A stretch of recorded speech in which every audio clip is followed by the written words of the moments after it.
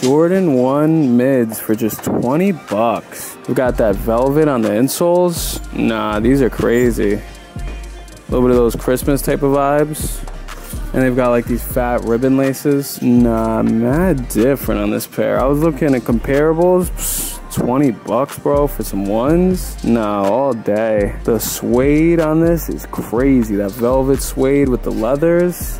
Definitely, definitely a pickup got out the thrift. Pick these up for just $20. They've got leather on the tongue. Go stupid, bro. For 20 bucks. To put up on the screen what these are going for on GOAT. Oh, damn. These are the Gucci colorways. Sheesh.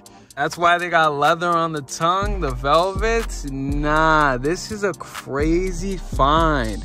And now that pattern does look OD like Gucci. I might live stream some of this tonight. We got Gears of War 3. I'll only be playing Horde, but again, five, that is mad cheap. Got a fire steal there. So for five bucks, just a little something to live stream the Horde. But look at this pickup, bro. $20 for the Gucci's. Keep that heel drag and then that Star Laws. These are crazy. What a stupid find at the thrift shop. Let me know what you guys are thinking. If y'all can like, comment, subscribe, and I'll catch you in the next one.